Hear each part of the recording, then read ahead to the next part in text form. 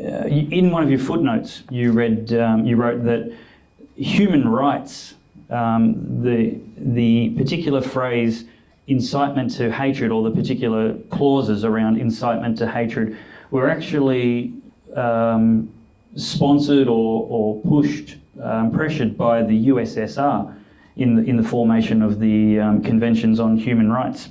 Can you uh, commentate around that a little bit? What's the, what's the implications of the USSR's involvement around, eh, with the intention of providing restrictions on free speech, you, you wrote? Yes, um, that was brought to my attention by uh, a, a, very prominent uh, lawyer and campaigner for freedom in this country, Augusto Zimmermann, who's a professor in, in, in Perth, professor of law in Perth. And it was Augusto who brought that to my attention. I did not know that. Um, and I think it's very interesting that a totalitarian state should lobby for uh, the inclusion of any kind of, of, of, of, a certain form of words that would actually be used to shut down debate in that in the in the country uh, where that was sponsored.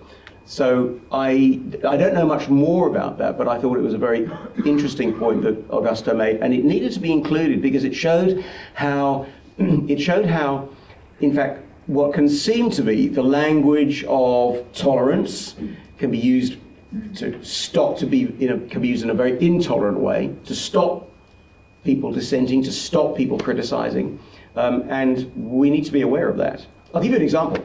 My Iranian friend who drove me over tonight, he was telling me he loves uh, U.S. There's a certain U.S. Um, crime show that he, he really likes, and he was amazed because in this show uh, there was speculation, in American shows, speculation that the US government and the US president, it's fiction, remember, but the US government and the US, uh, and the US president were actually behind significant threats to world order. Well, we can imagine what sort of show this is. And he loves it, thought it was great. But what really impressed him, perplexed him, I think is even better word, is that Americans could be allowed to make shows that talk about the threat in a fictional way that their own governments posed to the peace of the world. He thought that was just amazing. Mm. And in Iran, it wouldn't be allowed. In no. Soviet Russia, it wouldn't be allowed. That would be incitement. Incitement to hatred. Yeah, yeah. So the the background where you uh, talk about political virtue. Um, you're talking about government imposed multiculturalism. It's not the only and certainly not the best way of strengthening civil society. Liberalism, which is not the American left form of government, but a form of liberty, um, liberalism also seeks to promote such strength. Uh, the liberal commitment, however, is to tolerance as political virtue, not as moral virtue. Oh, I see. Uh, when I was talking to Dave earlier, he didn't tell me that this was going to be an examination. I assume some intimacy.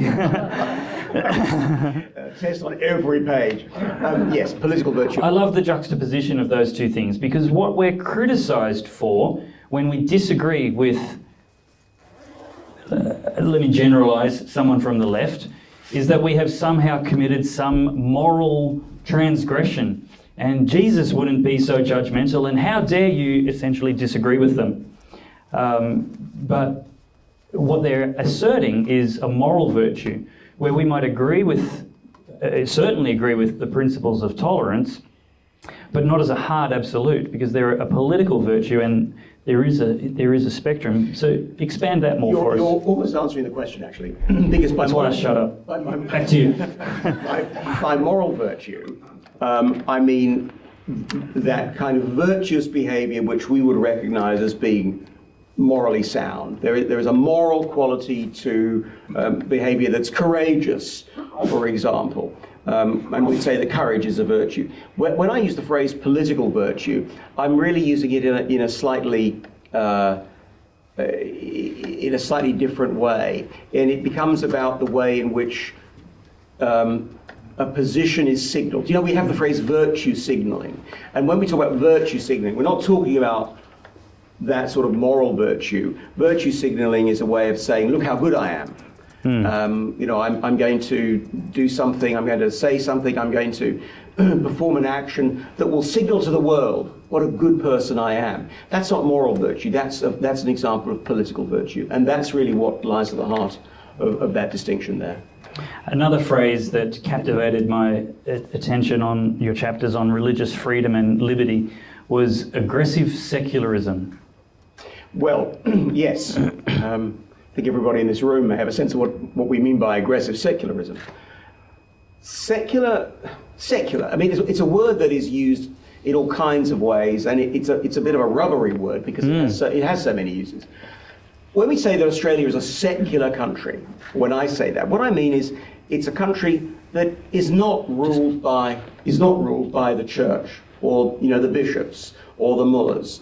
It's a country that is ruled by a, a democratically elected government, and the law that a democratically elected parliament passes is the law of the land, and that's the law that every citizen of this country, every person in the country, has to obey. A secular state is one where that sort of practice is absolutely paramount. Uh, whereas a theocratic state would be a state where um, the mullahs or the bishops decide what is law and what is right and what is wrong. So that's secular. But there is an aggressive form of secularism that would seek to drive any kind of religious discourse out of public debate altogether. Because in a, in a genuinely secular, liberal society such as ours, there should be room for Christians and Jews and Hindus and Muslims to, to enter into public debate about matters that are of importance to them. They can't expect that their views will always prevail, but they can expect mm. to be heard. They can expect to be able to express those views without being told uh, to without being silenced. Mm. Now, I think aggressive secularism seeks to seeks to bring about just that silencing of anything that smacks of religion, anything that smacks of um, of, of, of, godly values, really. And you know, we're seeing it, for example, it's it, and it's coming back, and it's coming. I think it'll come with some vengeance this time in the euthanasia debate. Mm. And you know, Andrew Denton has been leading the charge on this, amongst others.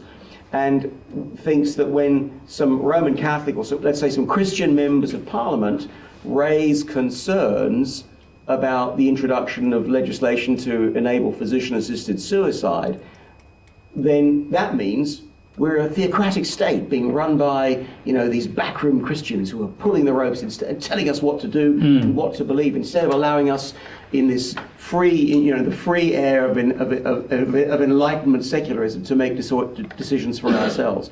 That's an example of aggressive secularism. So what um, what aggressive secularists would argue is that freedom of religion is an internal freedom. You can believe what you want and you can practice what you want, perhaps even within the confines of your your church or cathedral or, or temple or your home on a Sunday or the privacy of your home. But you dare not offer your religion publicly. It's an internal thing, a private thing only.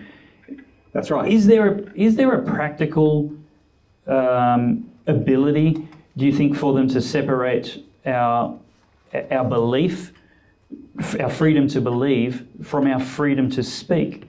No, I don't think so. I think freedom of, freedom of religion is not an absolute right that trumps every other freedom. Clearly, and I, we, have already covered that. You know, it, freedom of religion doesn't mean doesn't mean that my beliefs about religious law, for example, take precedence over secular law.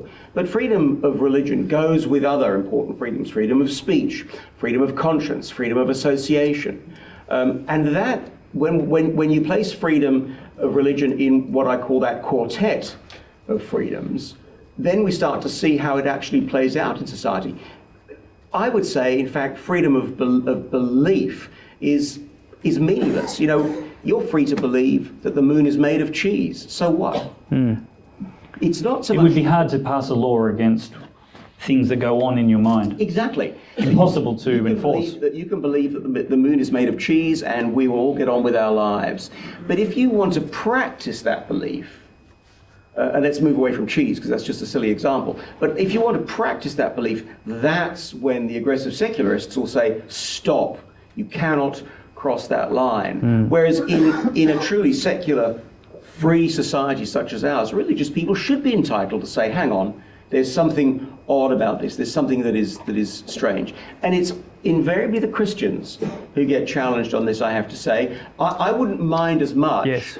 if the secularists came out and told uh, the Mufti of Australia, Dr. Muhammad, also to stop. Uh, uh, to, to, to shut up and to get back in his box. But nobody would say that to him. But the Christians are a soft target. Yep. Now, I, I think that's, that in itself is a cause for concern, and that was one of Andrew Denton's um, uh, criticisms. But I think that, uh, that's to say, the criticism of Christians. But if, if we're going to, at least we're going to criticize religion, if the aggressive secularists are going for, for, for religious people, let's go for them all. Yep. Whereas it does tend to be the Christians who get it. Yeah. Thanks for watching. If you really enjoyed that video, please give it a thumbs up and subscribe to my channel. Have a look at this great video next and check out the website for even more interesting articles and episodes later.